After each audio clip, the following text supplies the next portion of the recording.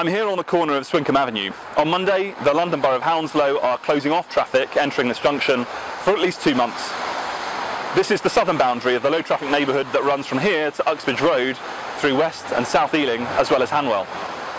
The decision, taken by Hounslow, will make the trial of this low traffic neighbourhood no longer workable. So today we've taken the decision to end that trial. My administration is committed to active travel, to tackling climate change and to improving air quality and our streets.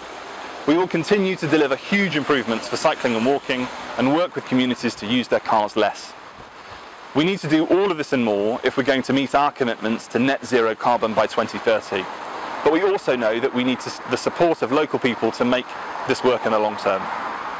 The implementation of this LTN has been controversial and we know that we've made mistakes along the way. We also know that there remain parts of Hanwell and West Ealing where parts of the LTN have been popular.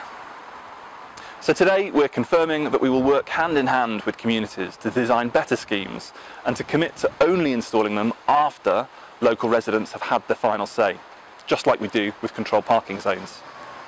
This is also the principle we'll use in deciding the future of other LTNs in the borough, with a final decision made by you, guaranteed by the end of the summer. I've said that I'll lead an open, inclusive and transparent council, and that means putting you in control of the decisions we take together to make our borough better.